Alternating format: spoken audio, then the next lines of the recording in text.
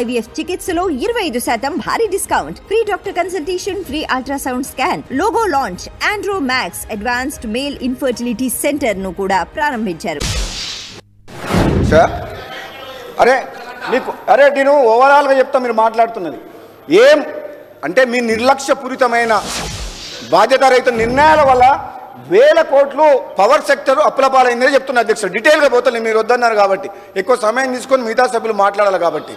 అయితే అధ్యక్ష ఛత్తీస్గఢ్లో power purchase agreement MOE sign చేసిండ్రు. మళ్ళా ఆ కారిడార్ పవర్ గ్రిడ్ కోసం డబ్బులు కట్టిండ్రు. రెండు సంవత్సరాల పాటు ఈ ప్రభుత్వము కరెక్ట్గా డీల్ చేయాలి అధ్యక్ష గవర్నమెంట్ తోటి. టైంకు పైసలు కట్టలే అగ్రిమెంట్ ఎంటర్ అయిన తర్వాత తక్కువ రేటుగా కరెంట్ తీసుకున్నారు.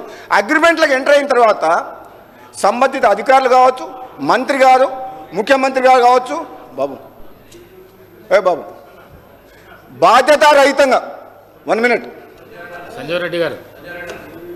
సంజయ్ రెడ్డి గారు. సంజయ్ రెడ్డి గారు డిస్టర్బెన్స్. అధ్యక్ష ఛత్తీస్గఢ్ విషయంలో ఛత్తీస్గఢ్ గవర్నమెంట్ తోటి ఒక బాధ్యతాయుతంగా ఒకవేళ వీళ్ళు కరెక్ట్గా ఇట్లా ప్రవర్తించుంటే చేసుంటే అది తక్కువ రేట్ కరెంట్ అధ్యక్ష. వీళ్ళు చేసి ఎంవై చేసుకొని కూడా కరెక్ట్గా డీల్ చేయకపోవడం వల్ల సమయానికి పైసలు కట్టకపోవడం వల్ల నష్టపోయింది డిస్ప్యూట్ వచ్చింది ఆగిపోయింది. వాళ్ళు బయట ఎక్కువ రేటుకి అమ్ముకుంటున్నారు. నష్టపోయింది ఎవరు అధ్యక్ష? మనం తెలంగాణ రాష్ట్ర ప్రభుత్వం. అంటే మీరు ప్రభుత్వంలో ఉన్నది అధికారంలో ఉన్నది బాధ్యతగా పనిచేయమని చెప్పి తెలంగాణలో రెండోసారి కూడా అధికారం ఇచ్చి తప్పితే ఇంత నిర్లక్ష్యంగా పనిచేస్తారని ఎవరు ఊహించలేదు అధ్యక్ష. అప్పుడు మాకు మీరు స్పీకర్ స్థానంలో మీరు లేరు అధ్యక్ష మేము ఆడు ఉన్నాం ఆరుగురము. ఇప్పుడు వాళ్ళు మాట్లాడుతురు కానీ అంత మాట్లాడుతురు ఇంత మాట్లాడుతురు కానీ ఒక్క నిమిషం కూడా బయటికి మైకి ఎక్కిపోయేటోళ్ళు. ఒక్క నిమిషం. ఒక్క నిమిషం మాట్లాడకపోతే ప్రాబ్లం చెప్పతే డిబేట్ కావద్దు మైక్ కట్. లేదంటే ఇక్కడి నుంచి వంద మంది లేసేవాళ్ళు. కొన్నిసార్లు అయితే నన్ను కొడతందుకే వచ్చారు అధ్యక్ష. వంద మంది. వంద మంది కౌరవులాగా మీదికి మేము ప- పంచపాండవులా ఆరుగురం ఉంటే నన్ను కొడతందుకు వచ్చిన మీదికి. ఎంత దుర్మార్గమైన పరిపాలన నేనెప్పుడు చూడలే? నేనెప్పుడు చూడలే?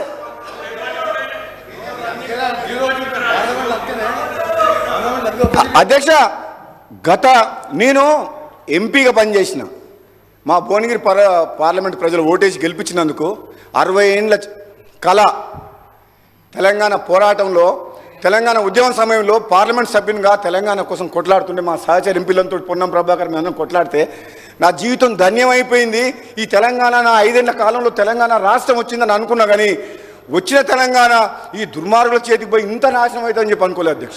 ఇంత ఘోరంగా ఇంత ఘోరంగా. అధ్యక్ష ఏమాట నన్ను మ- నన్ను మీరు అన్న మాటలు పోయిన అసెంబ్లీ రికార్డు చూపిస్తా. నన్ను ఏమన్నారు? ఏమేమి మాట్లాడినారు అధ్యక్ష? తెలంగాణ కోసం కొట్లాడిన మనిషిని ఉద్యమకారుణ్ణి పార్లమెంట్ సభ్యుడిని నాకు మూడు హౌస్లో పనిచేసిన అనుభవం ఉంది అధ్యక్ష.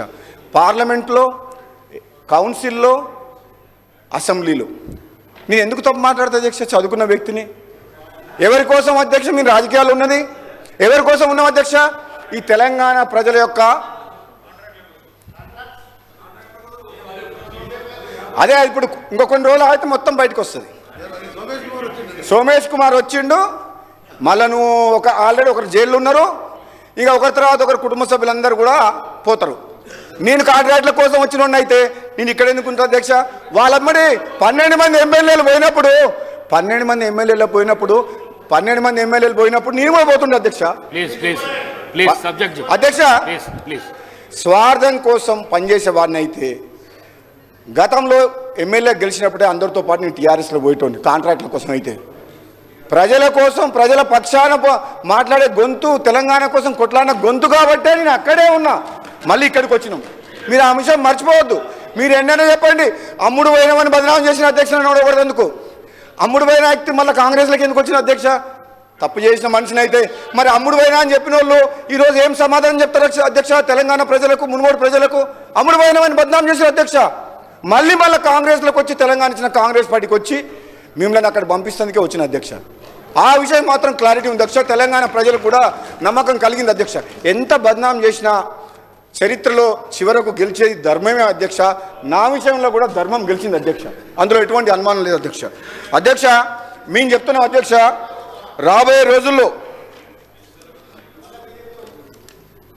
మీరు రెడీ ఉన్నారు కదా? మన బీజేపీ ఓట్లు వేయించింది ఎవరు? అధ్యక్ష మొన్న వీళ్ళు గుండె మీద చేసుకోవాలి. ఉదయం తొమ్మిది గంటల వరకు మొన్న పార్లమెంట్ ఎలక్షన్లు పోటింగ్ అయితే పోలింగ్ అయితే నేను ఊళ్ళలో తిరుగుతున్నా. తొమ్మిది గంటల దాకా ఎనిమిది గంటల దాకానేమో టీఆర్ఎస్ వాళ్ళు బీజేపీ వాళ్ళు వేరే వేరే ఉన్నారు. ఎనిమిది తొమ్మిది పది పదకొండు పన్నెండు ఒకటే కొద్ది ఇద్దరు కలిసి ఒకటే దగ్గర కూర్చున్నారు. ఒకటే టెంట్ల. ఏమైందిరా బాబు అంటే కలిసిపోయేసరిగా టీఆర్ఎస్ గెలిచినట్లేదు. పబ్లిక్ టీఆర్ఎస్ అంటే పోయింది. ఈ బీఆర్ఎస్ పార్టీ బతకదు. ఈ తెలంగాణ రాష్ట్ర సమితి అని పేరు మార్చి ఎప్పుడైతే బీఆర్ఎస్ అని పేరు పెట్టిరో అప్పుడే అయిపోయారు ఇక బీజేపీలో కొత్తట్టు సార్. మొత్తం బీజేపీకి ఓటేయమని చెప్పిందని చెప్పి పబ్లిక్ మొత్తం ఓపెన్గా మొత్తం ఏకచక్రాధిపత్యం సారు కారు పదహారు అని విర్రవీగిన వాళ్ళకు గుండుస్తున్న ఒక్క ఎంపీ కూడా రాలి. ఎక్కడ పోయిందా? సార్ ఎక్కడ పోయిండు? కారు ఎక్కడ పోయింది? పదహారు ఎక్కడ పోయినాయి? అధ్యక్ష ఒక్క ఎంపీ అన్న డిపాజిట్లు కూడా రాలే. అంటే అధ్యక్ష మీ యొక్క మాట చాలా సీరియస్గా ఆలోచించాలి. ప్రతిపక్ష సభ్యులు కేటీఆర్ గారు కూడా చెప్తున్నారు అధ్యక్ష చాలా సీరియస్గా. అధ్యక్ష అధ్యక్ష ఒకటే మాట అధ్యక్ష ఎక్కువ చెప్ప. అధ్యక్ష ఒక మాట తెలంగాణ సమాజం ఇచ్చిన తీర్పుని ఆ తీర్పుని మనము తీర్పుని ఒకసారి చేసుకోవాలి అధ్యక్ష. ఏమని? పదేళ్ళు పరిపాలించిన ఒక ప్రాంతీయ పార్టీ ఈ భారతదేశ చరిత్రలో అసెంబ్లీ జరిగిన ఎన్నికలు జరిగిన ఆరు నెలలకే జరిగిన ఎన్నికల్లో ఈ విధంగా డిపాజిట్లు రాకుండా ఒక్క సీటు కూడా లేకపోయిందంటే ఎంత తప్పులు చేసిండ్రు అధికారాన్ని అడ్డం పెట్టుకొని ఎంత దోసుకున్నారు ఎంత దుర్మార్గంగా చేసిండ్రు అనేది ఆ మొన్నటి పార్లమెంట్ రిజల్ట్ అప్పుడు. అధ్యక్ష సభ్య రాజేశ్వర రెడ్డి గారు మీ మీ బాసు స్పీ మీ ముఖ్యమంత్రి గత ముఖ్యమంత్రి గారు గంటలు గంటలు మమ్మల్ని ఆడ కూర్చోబెట్టి స్పీచ్లు ఇస్తుంటే విన్నాం. శ్రీధర్ బాబు గారు మా మంత్రి గారు ఇక్కడ మా లెజిస్లేషన్ మినిస్టర్ అధ్యక్ష మమ్మల్ని